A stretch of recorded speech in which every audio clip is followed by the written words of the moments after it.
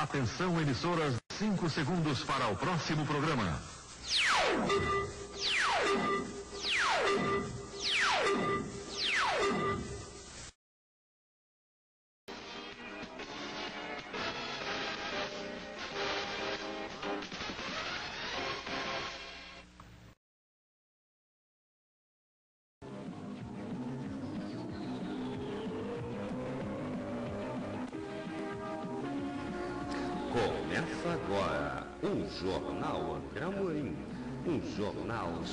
De notícias até o fim.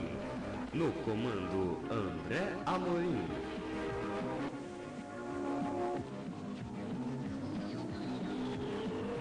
Olá, muito bom dia, boa tarde, noite. Brasil! Tudo bem com vocês? Tudo bem? A partir de agora, Jornal André Moinho, jornal cheio de notícias até o fim, edição 1910 de hoje, sábado 17 de março de 2012, vamos às manchetes. Polícia Militar vai convocar 4 mil para o PP e patrulhamento. Faturamento de mais de 1 milhão de reais por mês. Milícia controla a venda de passagens de trem. Na sessão de mulher, saiba como será o último capítulo de Clean Estampa. George Clooney é preso.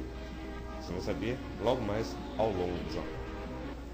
Essas outras notícias de capa de um dia você vai saber junto com algumas notícias do site Alfuxica e com algumas notícias do protejateusfilhos.org. Hoje tem número 19 da promoção relógio do dia do seu jornal dia.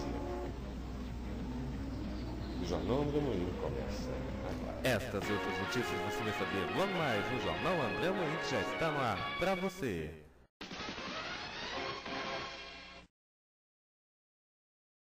Compre o Jornal o Dia, como o Rio gosta de ler. Os preços do Jornal Dia são de segunda a sábado, vinte centavos. Isso mesmo, um real e vinte centavos. No domingo, o Jornal Dia custa o dobro, quarenta centavos. Isso mesmo, dois reais e o site de O Dia Online, www.udia.com.br. Repetindo, www.udia.com.br. Ligue na promoção Relógio do Dia do seu Jornal O Dia. Você vai levar um kit Mondaine Twist que vem com relógio e cinco pulseiras coloridas. Com o Relógio do Dia, você muda pulseira, muda aro e muda tudo. E é fácil participar. Basta juntar 20 selos mais 9,90. É isso mesmo. São apenas 20 selos mais 9,90. Promoção Relógio do Dia. Garanta já o seu. Compre o Jornal O Dia e participe. Será que eu tô esquecendo alguma coisa? Loção hidratante Hidra Mais. Mais hidratação e proteção para peles ressecadas. Mais tempo de ação e mais economia. É mais suave e deixa a pele mais perfumada. Agora você não esquece. Aliás, o meu corpo nunca esquece. Hidra Mais. Uma experiência inesquecível.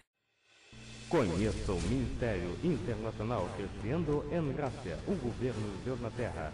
Sede Nacional, Rua Barão do Bom Retiro, 88, Engenho Novo, Rio de Janeiro. CEP 20.715-003. E o telefone é o 0 operador 21 2461 0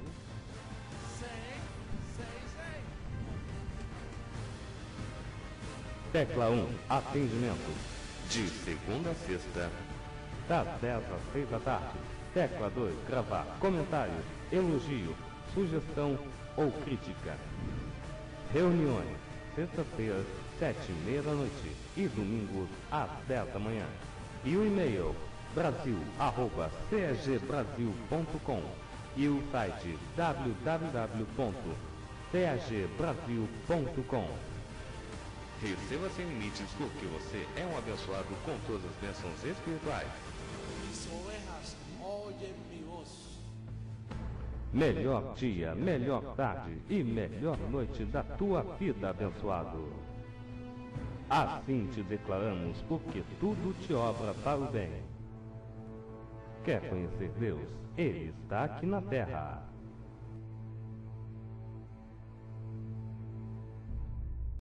Cuando el gobierno de Dios se establezca sobre esta nación, sobre toda la tierra, nosotros vamos a ver la libertad gloriosa de los hijos de Dios.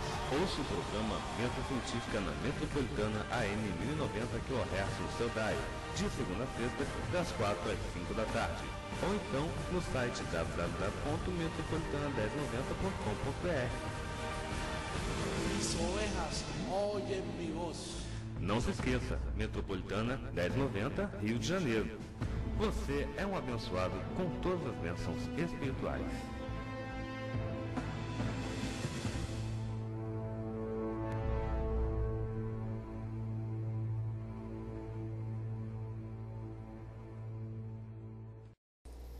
Madrugada com Jesus Cristo Homem na Rádio Metropolitana, AM 1090 kHz, Rio de Janeiro. Diariamente da meia-noite às 5 da manhã. Ou no site www.metropolitana1090.com.br. Programa A Ciência de Deus do Ministério Crescendo em Graça de Nova Iguaçu, na Rádio Tropical AM 830 kHz. Sábados, da 1 às 2 da tarde. Ou então no site www.tropical830am.com.br. Você é um abençoado com todas as bênçãos espirituais.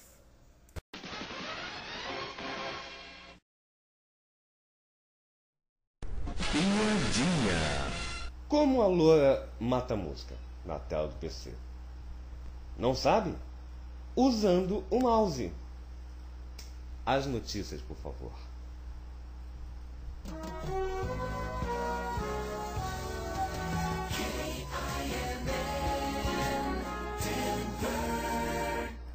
Jornal André Amorim. Oi, oi, oi, oi! Jornal cheio de notícias até o fim. Aê! E agora, no Jornal André Amorim, a notícia mais quente do dia. Faturamento de mais de um milhão de reais por mês. Milícia controla a venda de passagens de trem. Exclusivo. Policiais da Baixada são suspeitos de integrar gangues que disputam o milionário mercado da revenda ilegal de bilhetes da integração trem-metrô. Uma das quadrilhas seria formada por oficial do PM. Autoridades policiais já foram informadas. A fraude atinge 40 mil bilhetes por dia. Funcionários das duas concessionárias foram ameaçados. Detalhes nas páginas 4 e 5 do seu jornal dia. Polícia Militar vai convocar 4 mil para o PP e patrulhamento. Candidatos foram aprovados no concurso de 2010 e começam a ser chamados em maio. A cada mês serão 500. Parte do grupo é mulher. Detalhes na página 7 do dia. George Clooney é preso. Ator foi algemado ao participar de protesto contra o governo do Sudão em frente à embaixada nos Estados Unidos. Detalhes na página 28 do dia. Na página 8, na coluna de Fernando Molica, tudo em paz. Dilma virá ao Rio apoiar programa de saúde da Prefeitura.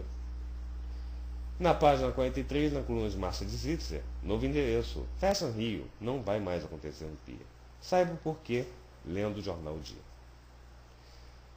Na página 12, na seção Rio de Janeiro, homem é acusado de oferecer dinheiro a meninos em troca de sexo em shopping. Na página 23, na coluna de Marco Aurélio Reis, imposto de renda. Militares podem cair na malha fina por falha administrativa. Na página 50, na coluna de Léo Dias, deu polícia. Adriano fez festa com quatro mulheres para cada homem. Detalhes na página 50 do seu Jornal Dia. Na página 47, na seção Dia D do seu Jornal Dia, João Carvalho e Munique estão no paredão surpresa do BBB. Um sairá amanhã. Na página 30, na seção Ataque, Flude Wellington Nem pega o Macaé e pode ajudar Flamengo e Fogo. Flamengo e Botafogo, né? Na seção de Mulher, saiba como será o último capítulo de Fina Estampa. Na página 47, na coluna de Regina Hilton, Griselda é sequestrada por Teresa Cristina, que foge com Peinha. Namorado de Cro não é Baltazar. Dentro do Jornal Dia, descubra como será o fim. E agora, as notícias do site protejaseusfilhos.org. Central de Informática na Noruega. Colapso ante denúncias de abusos sexuais por sacerdotes. Noruega. O bispo Georg Miller abusou de um coroinha e descobriram mais de 10 novos casos de padres pedófilos católicos.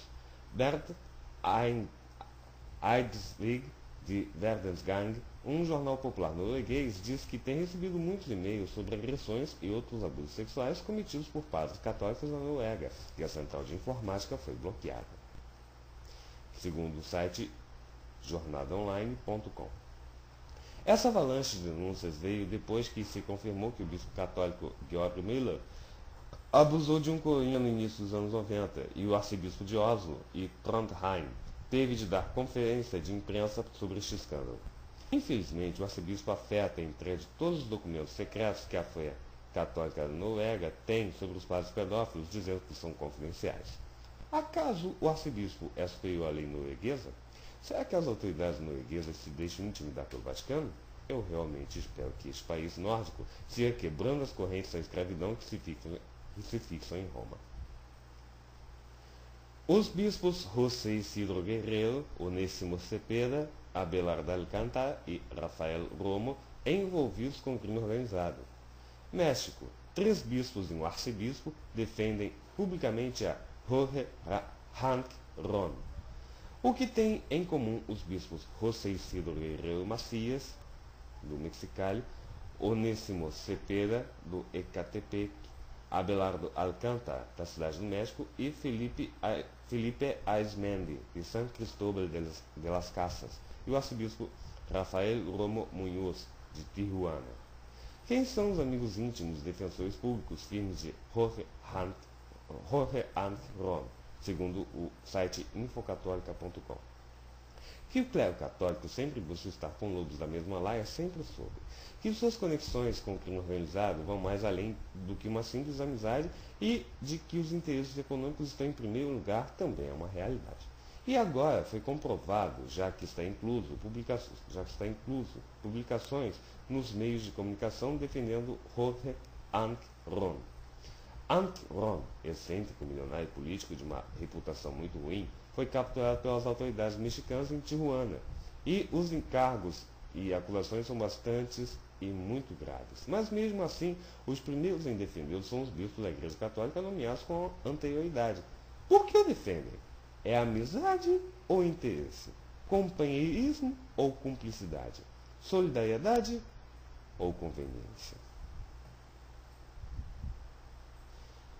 Crianças surdas e mudas violadas sexualmente por sacerdotes na Itália. Os, abusos sexuais estão pesando sobre a Igreja Católica em países como Estados Unidos, Itália e Alemanha, seu país natal. Light, de 59 anos, e outros dois que disseram que sofreram abusos quando eram crianças na escola. Antônio Provolo, para surdos, que liderou a igreja em Verona, juntou-se a uma crescente lista de vítimas que estão pedindo ao Papa que aborde mais e mais abertamente a crise. E agora, as notícias do site O Fuxico. Viva! Angélica espera uma menina. A atriz está esperando seu terceiro filho. Finalmente, a família Hulk terá mais uma mulher dentro de casa. Isso porque Angélica revelou na manhã de anteontem, quinta-feira, dia 15, em seu Twitter, que está grávida de uma menina.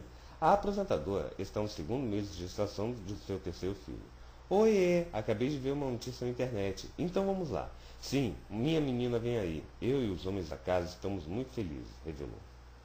Na rede social, a apresentadora fez questão de deixar claro que ela e Luciano Huck ainda não escolheram o nome da menina. Ah, só não inventem nomes para ela, please. Não temos ainda. Risos, escreveu a apresentadora. Angélica e Luciano já são pais de Benício, de 3 anos, e Joaquim, de 6. BB12. Noemi conta que banho no Gran Hermano é todo mundo pelado. Her, her, hermana fala do confinamento espanhol. A ilustre visitante da Espanha, Noemi, contou aos brothers que no Gran Hermano os participantes tomam banho pelados na madrugada é, de, deste sábado, dia 17. Quer dizer, de hoje, né? Eles tomam banho pelados? É isso? perguntou Monique. Em uma tentativa de enganar a irmã, Jonas falou que eles também tomam banho nus. É a hora do banho agora, brincou Fael. Monique foi aos risos. BB12. Noemi fica de calcinha sutiã no quarto praia. Ao chegar ao confinamento brasileiro, a espanhola Noemi conversou bastante com os brothers na externa da casa, no futon azul na madrugada deste sábado. Quer dizer, de hoje, né? Depois a irmã foi até o, ao quarto praia. Foi ao quarto praia vestir algo mais confortável. Foi aí que a mulher dos olhos claros mostrou suas curvas espanholas para o Brasil. Noemi passava uma semana com os brothers na casa do BBB. Thaís Versosa é parada na blitz da lei seca com Michel Teló. A atriz se recusou a fazer o teste e foi multada.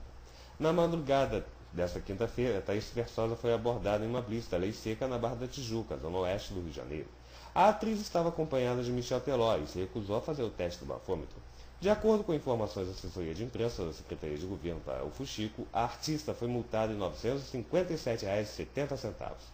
Thaís ainda teve sua carteira apreendida e o carro só foi liberado depois que um condutor se apresentou para dirigi-lo. Confira o comunicado da assessoria de imprensa da Secretaria de Governo do Estado do Rio de Janeiro. A atriz Thaís Versosa foi abordada por agentes da Operação Lei Seca na madrugada desta quinta-feira, dia 15, durante o blitz realizado na Avenida Ayrton Senna, antiga Avenida da Alvorada, na Barra da Tijuca. Ela estava acompanhada do cantor Michel Teló. A atriz se recusou a fazer o teste do etilômetro e sofreu as seguintes sanções administrativas. Apreensão da Carteira Nacional de Habilitação, CNH, multas de R$ 957,70 e perda de 7 pontos da carteira. O carro dela foi liberado após um terceiro condutor ter sido apresentado. Uma equipe de reportagem da Record estava no local acompanhando a Blitz quando flagrou o cantor sertanejo dentro do carro da atriz. Ao perceber que estava sendo filmado, Teló, que estava de boné no banco do carona, tentou se abaixar para não ser visto. Vale lembrar que, no, que, durante o primeiro dia de desfiles do Carnaval do Rio de Janeiro, Teló e Thaís se encontraram no camarote Bar Brahma. Na ocasião, os dois conversavam ao pé do ouvido. E agora, a última do jornal André E a última do jornal André Morim, jornal cheio de notícias até o fim, Marcelo Faí e Fernando Vasconcelos protagonizam peça teatral. Os atores estrearam um espetáculo em São Paulo. Os atores Marcelo Faí e Fernando Vasconcelos foram implicados na noite desta sexta-feira, dia 16, quando trabalhavam na estreia da peça Dona Flor e seus dois maridos no Teatro Sérgio Cardoso, localizado na Bela Vista, em São Paulo. Para contar essa história de sucesso, o diretor Pedro Vasconcelos escalou Fernando Vasconcelos como Dona Flor, Marcelo Faria como Vadinho e Duda Ribeiro como Dr. Teodoro, além de mais 11 atores. A história acontece na Bahia de Amado, ambientada nos anos 40, com as músicas do Ival Caymmi sendo cantadas pelos atores, além de dança, comida e festa. Enquanto Vadinho é devasso, imoral e irreverente, Dr. Teodoro Madureira é metódico e controlado. Mesmo com características tão antagônicas, os dois encantam a professora de culinária, Dona Flor, que vive intensamente cada amor a seu tempo. O espetáculo começa com a morte de Vadinho, por excesso de folia, em pleno sábado de carnaval vestido de baiano. Em seu velório, os amigos relembram as farras, os jogos e as amantes do falecido. Através de um flashback, o público tem a oportunidade de vivenciar o primeiro encontro de Flor e Vadinho. Sorridentes, Marcelo e Fernanda receberam os aplausos do público e posaram para as fotos dos paparazzi ao final do espetáculo. Muito bem, muito obrigado pela companhia e pela audiência. Jornal André Morim, edição. Ah, aliás, eu vi esta peça, mas não foi aqui no Rio, mas não foi com a, com a Fernanda Vasconcelos, não, mas sim com a Carol Castro. É verdade. Muito bem. Muito obrigado pela companhia e pela audiência. O Jornal André Morim, edição 1910, de hoje, sábado, 17 de março de 2012. Fica por aqui. Super beijo para vocês. Um forte abraço e até amanhã, se Deus quiser. Tchau, pessoal. A gente se vê aqui. Melhor dia da tua vida, abençoada, abençoada. A cobertura angelical contigo, hein? Sim, é. Ah, papai. Fui.